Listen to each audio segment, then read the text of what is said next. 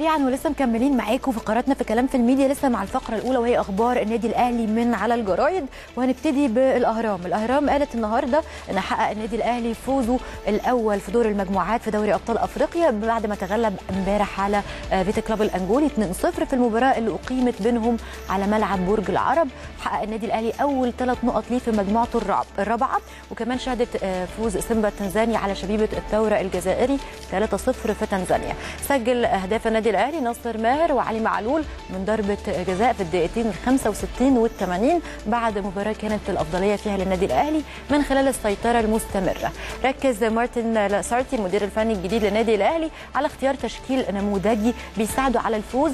وكمان قبل ما يدخل طبعا المباراة كان معاه معلومات عن صعوبة المنافس الكونغولي. وكمان ده اللي انعكس على الحالة الهجومية اللي كان بيقودها ثلاثي خطير حسين الشحات وليد سليمان ورمضان صبحي ورا المهاجم الوحيد مروان محسن. عشان كده كان التفوق أهلاوي بامتياز خلال مجريات الشوط الأول من خلال السيطرة الواضحة والفرص الضيعه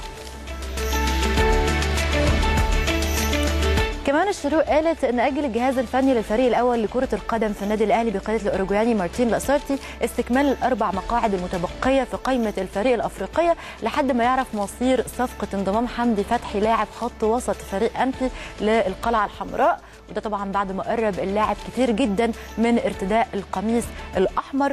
وإن شاء الله بإذن الله نعلن النهارده أخبار مهمة جدا عن الصفقة دي.